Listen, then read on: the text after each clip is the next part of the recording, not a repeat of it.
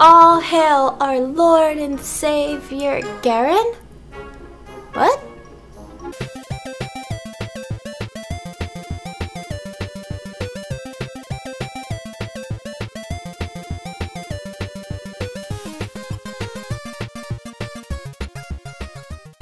There's something that we must talk about right now.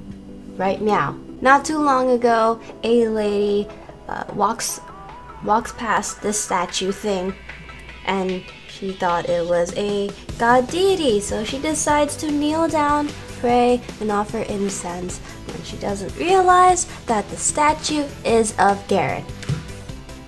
Garen. League of Legends. Spin to win. Demacia. Garen. I don't think she ever realized that she was she stopped right in front of a Chinese internet cafe. This is all happening in China. I don't remember where. I read and I forgot.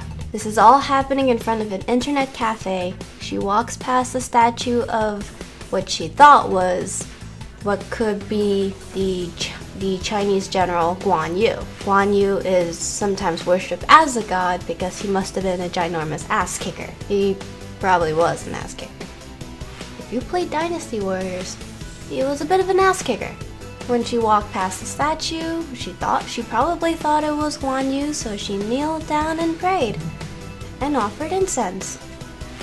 And people think that either she was confused or the moment was just funny, which I thought the moment was funny. Angie was confused, but that's okay because I think that's pretty awesome.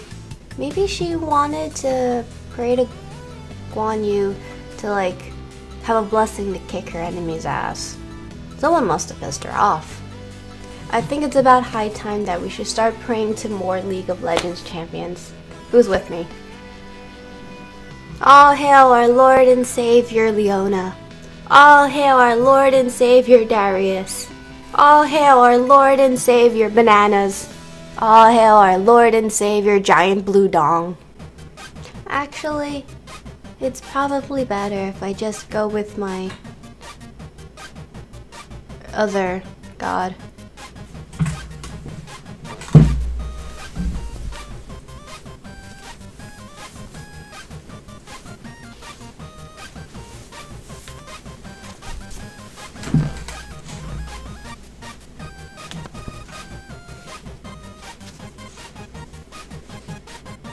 All hail our Lord and Savior Arceus.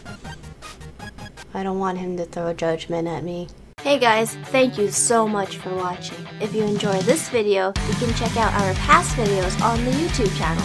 And of course, you can follow us on Twitter and like us on Facebook for more updates from us, Coed Gaming. And I'll see you guys later.